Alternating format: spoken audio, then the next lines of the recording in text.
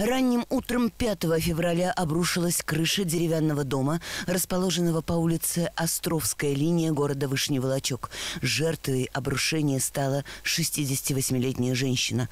По данному факту Вышневолодским межрайонным следственным отделом регионального следственного комитета организовано проведение доследственной проверки.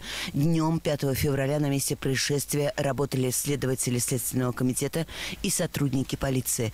Они устанавливали все обстоятельства произошедшего произошедшего. Проводился осмотр, опрашивались очевидцы и свидетели.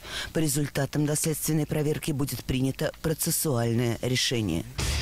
4 февраля в кадетском классе 16-й средней школы Твери сотрудник регионального следственного комитета подполковник юстиции Алексей Варфоломеев в рамках дополнительной общеразвивающей образовательной программы «Основа государственной службы в Следственном комитете России» провел очередной урок по теме «Преступления, совершенные несовершеннолетними, наказание несовершеннолетних».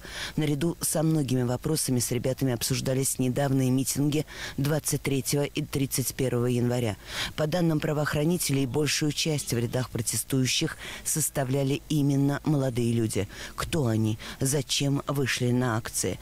Ответы на эти вопросы школьники получили из специального репортажа «За кулисами протеста», подготовленного сотрудниками Следственного комитета России.